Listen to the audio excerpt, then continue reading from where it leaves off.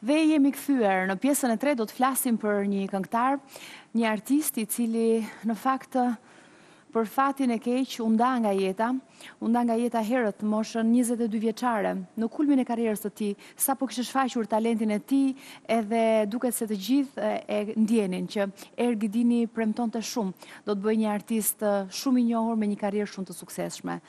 Fati e deshi që ai të ndahej, pra të largohej nga kjo jetë shumë i ri, por Ndërkohë, motra e tij, Barbara Dini, babai i tij, gjithashtu një gazetar i mirënjohur në qytetin e Shkodrës, vendosin që amanetet e tij, këngët e tij të fundit, të papublikuara, të t'i sjellin, pra t'i realizojnë.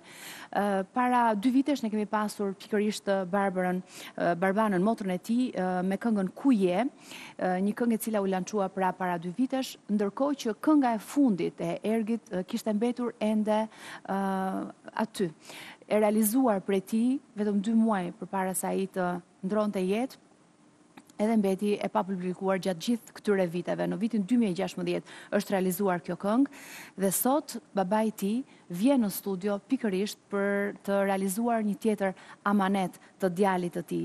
Është një tjetër këngë pra të cilën mund ta cilësonim fare mirë si kënga tashmë vërtet e fundit e Ergi Dinit. Është babai i tij, poeti dhe gazetari Dashamir Dini, i cili vjen të flasë për këtë këngë edhe për mënyrën se si e ka realizuar atë. Një këngë e kënduar, e kompozuar, e përgatitur, e krijuar pra nga vetë Ergi dhe e kënduar nga ai. Kështu që pres babain e Ergit në studio, zotin Dashamir Dini. Presim. Zoti Dashamir, faleminderit që je këtu. Kënaqësi që të kam në studio. Keni udhëtuar nga Shkodra edhe Ergi është në zemrat tona, është në mendjet tona, e kujtojmë gjithmonë. Mua më erdhi mirë shumë kur më thatë që e keni realizuar dhe këngën tjetër të Ergit dhe jam shumë e kënaqur që ne sot ta publikojmë edhe për teleshikuesit që po na ndjekin. Faleminderit. Edhe unë kënaqësi që jam në studion tënde, na kena kriju i lidhje dhe jo vetëm si telespektator me ju, por edhe si shpi nga një herë. Ju falenderoj shumë për punën që keni bërë. Faleminderit shumë. Të ftoj të ulesh. Ulemi, ulemi edhe të flasim për këtë këngë të Ergit. Duket sikur na risjell kënga Ergin sërish mes nesh. Po, faktikisht është për ne është një event ngushëllues. Do thosha, është një këngë që ne e gjetëm vonë, është prodhu në 2016 nga shtatori, mhm. kur pregatitej ndërkohë, ai desh të kapte verën, se është këngë verore, po. tip disko e është, një këngë shpërthyese, ai tendenca e Ergit gjithmonë ishte të eksperimentonte gjana të reja, të ikte nga flow, nga ritmi i drejt, i drejt, ai ka apliku këtu një ndërthurje mes kantos dhe repit, mhm. mes ritmit dhe kundërritmit, është një këngë interesante, Kulti është dashuria, si këtu. Sigurisht ka një ekstazë rinore mbrenda të saj, siç thotë ai, dashuria që dhuron një femër gjithmonë është si një festë e bukur e e gëzueshme. Dhe pikërisht ky moment është. Në fakt ai e kishte regjistruar, pra, edhe e kishte në studio. Si zë e kishte hedhë, e kishte të mbyllur. Ai kishte edhe një këngë tjetër ku i valon me këtë bazë muzikore, me këtë bit, që e kishte trajtuar si balladë. Është shumë e bukur dhe ajo po s'e mbylli sepse nuk kishte back vokalet, megjithatë ne do ta lançojmë për kuriozitetin. Pra, pra dhe ajo mund të, mund të sillet pra edhe ajo, ka po, mundësi të sillet. Po, sillet se është, është shumë romantike, është e kundërta kësaj. Aha. Po e njëjta glorifikohet femra, po këtu janë hallet e dashurisë në pjesën e dytë. Killed titullohet e dytë, e kënga e dytë. Është një balladë shumë e bukur, edhe aty ka rap, po ka edhe të kënduar. Mhm. Them se janë dy antipode që provojnë edhe njëfarë mënyret edhe atë aftësinë e tij edhe talentin e tij, mhm. me të njëjtën bazë muzikore, me të njëjtin bit. Ju, ju e keni shoqëruar edhe me videoklip, po, këngën, sigurisht, faktikisht, si e përgatitët videoklipin, para se të shfaqet Videoklipin, në, këto na kanë pengu, faktikisht, ne jemi përpjekë në mungesë të Ergit, menum me animacion, këtu që ishte asnjë i specializum me mhm. sjellë në atë mënyrë, kemi kërku në variante të ndryshme, po një miku jem Valmir Hysa, shumë i talentum, Mori nga X Factor dhe u përpoq të sinkronizojë, të adaptojë sa të mundet që kënga të veshet dhe të përcjellë një lloj emocioni mhm. sa të mundet. Me pamjet e Ergit. Sigurisht nuk është adekuati mhm. për këngën, mhm. por ai është përpjekë në momente të caktume me fut falë talentit të tij, për me dhuru një lloj materializimi, po themi, të këngës edhe me figurën e Ergit kuptohet që klipi nuk ka pretendimet e një gjaje perfekte, se nuk është e bëme, mhm. është e diktume, mhm. për me gjithë mundësi, dhe ne kemi sjellë këtë klip, falënderoj këtë Valmir Hysën, veçanisht për këtë. Ne kangën e kemi zbulu, domethanë fillim vitit e kemi marrë, falënderoj shumë Blend Kalivaçin dhe Eland, sepse aparaturat kishin dalë jashtë lojet, ne përhumbëm disa vjet me dhimjen tonë dhe s'u kujtum, mhm. domethanë kur u kujtum u desht me e gjetë, pa po ata i kishin rujtë me fanatizm të dy variantet, Kështu që na bënë një dhuratë shumë të madhe. Po mendoj se kjo vlen për ne, vlen edhe për fansat e Ergit, dashamirësit e Ergit, që të marrin, të shofin, mhm. domethënë të nigjojnë edhe një herë me ato tiparet e karakteristikat e tija. Ka një titull kënga, i keni vënë një titull?